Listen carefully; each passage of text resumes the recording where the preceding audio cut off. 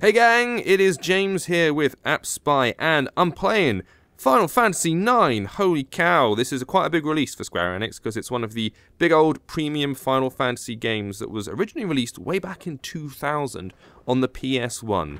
You might have known, like by looking at our channel recently, Square Enix have been gradually releasing their almost entire back catalogue of old JRPGs, including late last year Final Fantasy VII, which is obviously one of the big games that they released one of the ones that really pushed the JRPG into like the Western mainstream. I mean, you'd had Final Fantasy VI or three uh, on the SNES and the Super Famicom, but prior to that, like it was a bit of a niche thing. Whereas Final Fantasy VII really captured everybody's imagination, certainly in the West.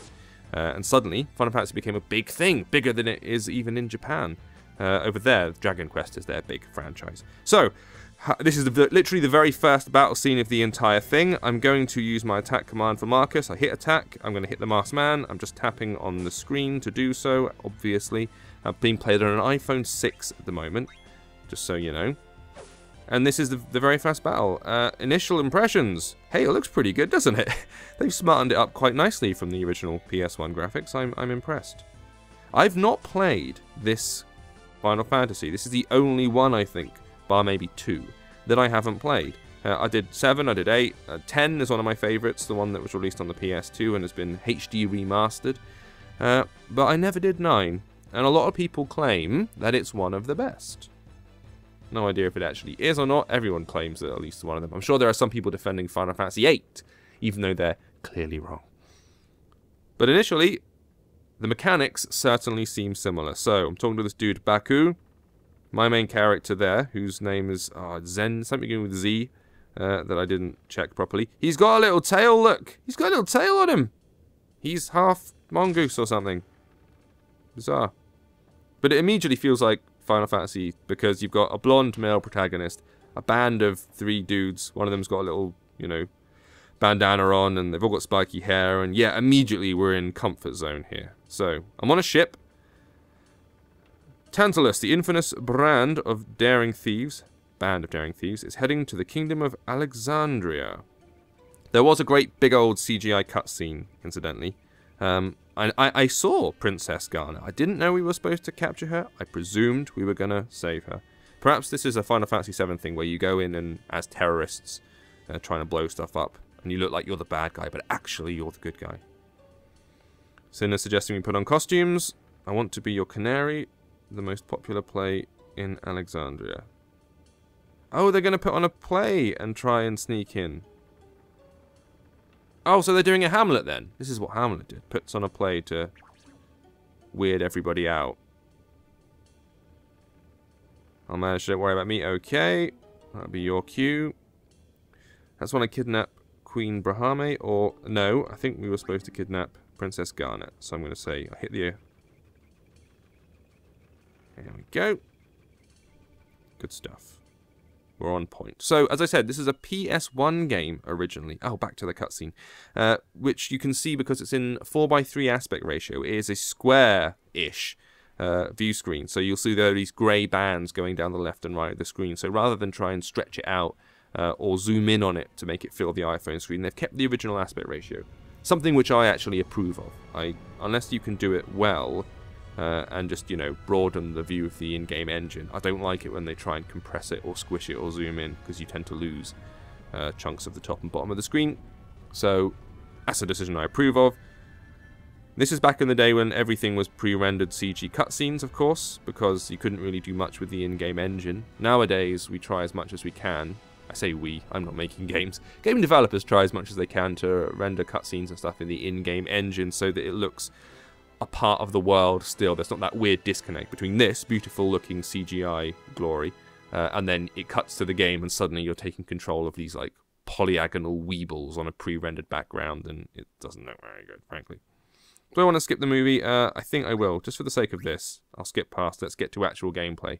We are going to be reviewing this game uh, very, very soon, incidentally, so don't worry. But being as this just came out on the App Store, uh, like matter of 10 hours ago or something like that, and we've got our hands on a code, we thought it only fair we show you immediately what the game looks like because it's currently on sale. On sale for, I think, £12.99 or 15 bucks ish. Uh, but that is going to increase within a few days to a full £15 or $20. And for an iOS game, obviously that's quite a lot. I mean, it's not a lot for a game full stop. When this game was originally released on the PS1, it would have cost you £40 or 60 bucks. So, you know, it's not that much in the scheme of things. But people do get a bit funny about paying that much on mobile uh, in a world of free-to-play games and 99 cent apps and stuff. So obviously we're going to try and tell you whether or not the remaster is any good and whether we think it's it's worth your time and your cash. The thing that I noticed with these remasters, and it's the same with the Final Fantasy one, is when it comes to the 3D assets, so you've got the uh, characters themselves, if I bring him up to the front, you can see he's actually very nicely modelled. He looks all HD. Uh, all the kind of stuff you would do with a usual remaster. So anti-aliasing to stop the jagged edges looking all jaggy and just bringing everything up to a higher resolution. That all looks great. However, the thing that looks weird is the backgrounds. The backgrounds still are the original backgrounds. You can't really upscale them. Uh, and so as a result, hang on, let me get the hell out of here.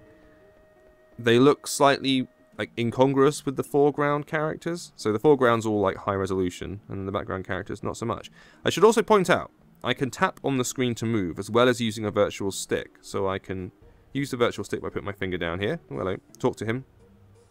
Gwahaha! I hid three precious cards in a safe place. Oh, I'm going to have to go and stalk stuff. Look, Shrimp, you need at least five cards if you want to play a game. Ah, oh, so I've got a little card game system. Which is so common now. I've been playing The Witcher 3 and everyone keeps asking me to play Gwent, that card game they have. You've got a ticket, get it stamped at the ticket booth in the center of the arena. Alright, let's go back to the center and see what we can find. Having never played this, I am immediately at home though. This is like old school, early 2000, late 90s Final Fantasy through and through. Funny characters, people saying gwa ha ha ha and mwa ha ha. Right, I like all these uh, uh, conversation options, though. So, show ticket. What's shown today? Can I show a ticket? Do I have my ticket? I do. Amazing. Get it stamped. There's something odd about it. Another fake. What? I suppose it must be a fake. Because we're trying to sneak into the palace. Oh, is he going to help me out? I got a goblin card. Fan card, skeleton card. Talk to Alleyway Jack to learn more about cards. Thank you.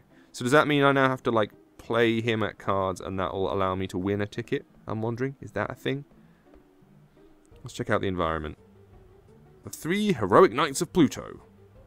Okay, fine. I wonder if I can go into any of these buildings. Yeah, I can. Ah, my first proper indoor shopkeep. Can we buy stuff? I don't want to play cards. Which sword to buy? Wish I had more money. Yes, tell me about it. I immediately noticed that the, the colours in this are a lot more kind of not Western RPG, but you know what I mean, where it's sort of sort of browns and greys and greens. Whereas I've been playing Final Fantasy X a bunch recently as, as the remastered version on the PS4, and it's so bright, it's tropical uh, in comparison to this. Synthesist wife is happy because he's been working for ages. Good for him. Oh, that's the alternative way out. Wicked. Alright, let's go over here. So uh, the other thing is I'm immediately taking control of a different character. So this little dude in the, the wizard hat thing. I thought I was going to be controlling the blonde-haired dude with the tail all the way through. Clearly not. But we're not going to get to see like a huge amount of the game. Obviously, it's massive because it's Final Fantasy and it goes on forever and ever. Uh, but what we're interested in here, just for this preliminary video, is how does it look, how does it play, what's the frame rate like, and what have they done with the remaster. I can say immediately that the touchscreen controls are just fine. They have made an effort with this one to convert it to touchscreen, unlike Final Fantasy VII, there's nothing through there, where it was basically released almost like an emulator. All you had was a bunch of virtual controls laid over the top of the game. Uh, and they'd made no effort to turn the existing like game stuff, the uh, heads-up display, into a touchscreen friendly format. And it was awful. Whereas this, clearly, you can see here that they've got the arrow key, so you can move up and down. I can just swipe up, down, like that. And during the battle scenes, I was tapping on the actual buttons to say attack, whatever. And so that makes a lot more sense. So initial initial impressions, like as you can see, the frame rate's really really sharp and strong, so that's been handled well. The battle scene initially looked pretty good. Uh, I can't see any glaring errors with it so far. It just comes down to a case of whether you enjoy the game or not, and we'll have to find out more about that in the actual review video that will go up later. So, brief, a brief, quick first look at the game. Uh, Final Fantasy 9 currently available on iPhone and iPad right now. £12, 15 bucks. We'll tell you more about it later. Thank you for watching.